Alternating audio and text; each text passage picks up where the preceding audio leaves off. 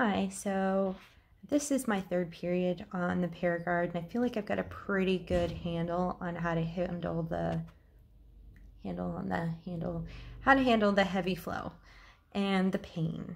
And I want to tell you about my experience with it and how I manage it. So this isn't going to be a fancy video or flashy video. I don't have any fancy music. All I have is just an anecdote of what I went through. So if I had two insertions and I was pretty sure I, after expelling one, I might expel the other, but my insurance covered it 100% and I was about to move. So I wanted something permanent. So I had the Paragard put in and I spotted for a few days and then I was fine. And everything was all in well until my first period came and then something weird was going on.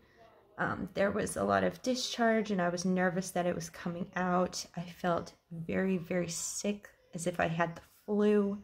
So I went to urgent care because it got so bad. And the bleeding was very heavy, which I expected. What I wasn't expecting was so much pain and vomiting and feeling like I was literally had the flu. I thought I actually did. I stayed home from work for a couple days and then I felt guilty for staying home, so I went to work and my boss told me to go to urgent care, which I did. I got tested, didn't have the flu, also didn't have any STDs, um, got an ultrasound. IUD was exactly where it was supposed to be. Um, tested me for infection, no problems. So I just wasn't reacting too well for it, or too well but I didn't want to pay to have it removed. So I left it where it was, decided to give it its time, and some things that I found helpful getting through that period. Some things I learned from it is that you don't have to rely on one method of controlling the bleeding. It's okay to use more than one. For example, I bought a very large menstrual cup I had been using a smaller Diva cup for a while and I decided to try the bigger one. And with that, I also wore a pad just in case it leaked. And that ended up being a perfect setup for work. Pads, I don't personally like them. However, the period flow was so heavy and my job, I can't just get up from my seat whenever I feel like it. I have my breaks scheduled. I need to be there to answer the phone, and I can't just cut a conversation off midway. So when I was at work, I was doubling up on everything. I was also staying with someone else. I didn't have my own place to live at the moment because I had moved and I had not settled in. So I was also running around a lot. I was commuting, which meant I had to sit in my car seat for an hour and a half and I was just very uncomfortable with the idea of relying solely on a cup or a tampon or even just a pad. So I combined them and it worked really, really well. Now, public bathrooms and menstrual cups are always going to be one of those things that people think is gross and frankly it it's your blood, it's your bodily fluid. I mean, it's it is yucky. It's blood.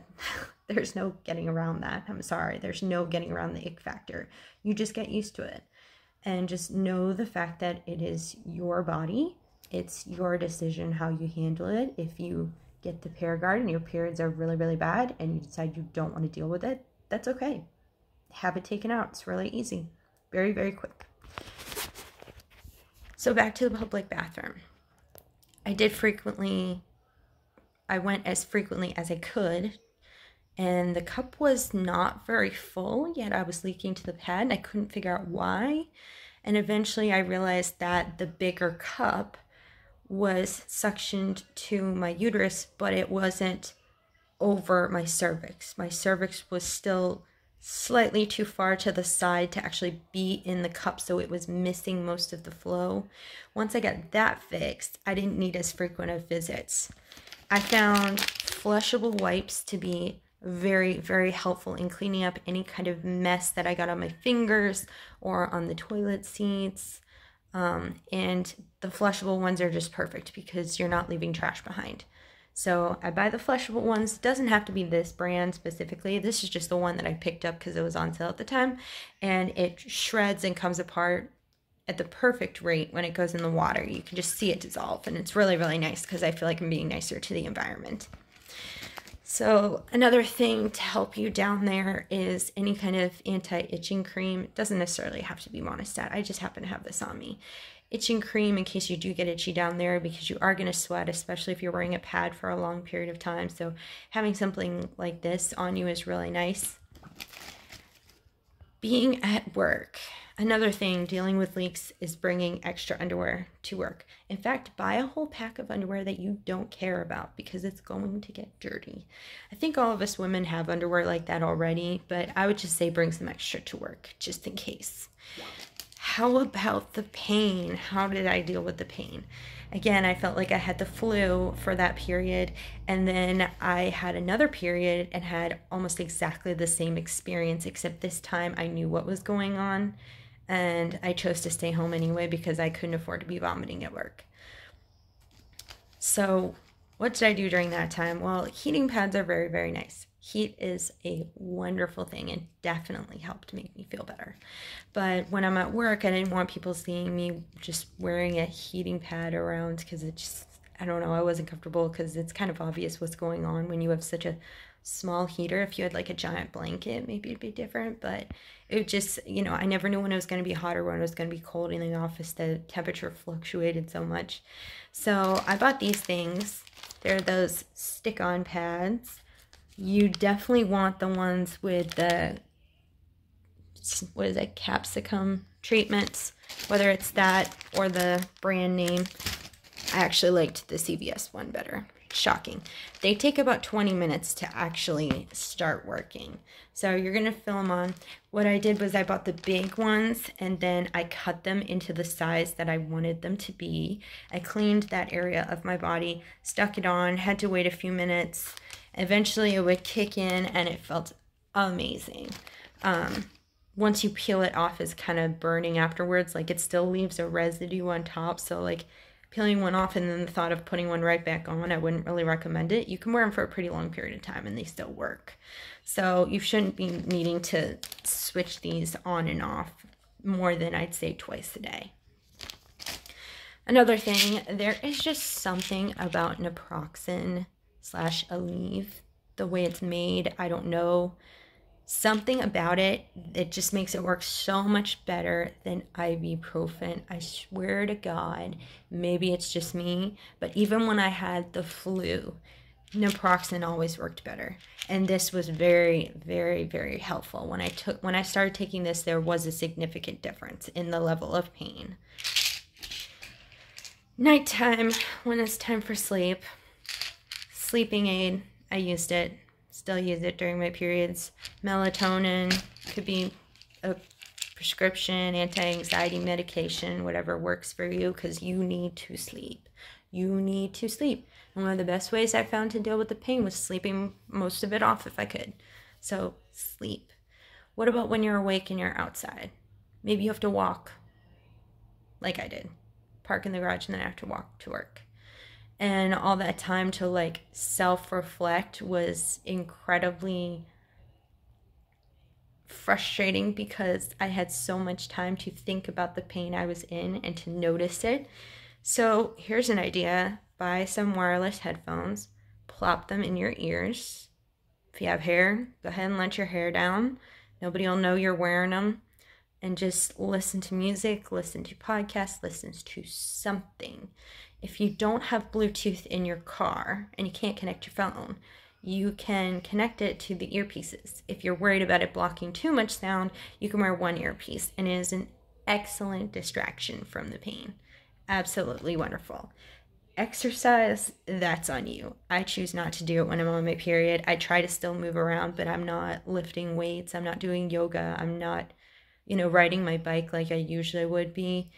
I'm staying still and I also started eating lots and lots of yogurt. It might be the placebo effect, but I feel like I do much better avoiding constipation and digestion issues that I noticed during my period if I'm eating lots of yogurt. I don't know the science behind it. I don't have a specific brand that I like. I I use different ones, whether it's Greek yogurt, Stony Brook, or cheaper brands, just whatever's on sale. But I think just having something that's like hydrating and soft, it just seems to go through better than when I eat harder foods. So that is my suggestion because when you're doing number two with a cup in, it's very uncomfortable. The cup has never come out on me during it, but it like the pressure of the cup and that at the same time is so uncomfortable. So I've been sticking to softer foods, not a liquid diet, just things that are softer. Like um even oatmeal, like if it's warm enough and soft enough, like it'll flow through pretty easily. I find even noodles, they're not the like they're not liquid, they're not like as soft as oatmeal or say scrambled eggs, but I can eat that and feel okay without vomiting.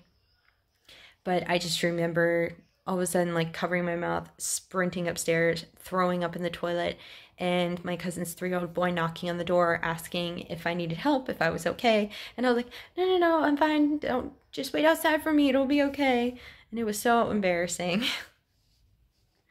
but the pain was horrible this time around has been so different. I'm still feeling pain, but it comes in spurts, like nowhere near as bad as it used to be. Way, way better. The periods are still heavier than what I'm used to. I had regular periods before this.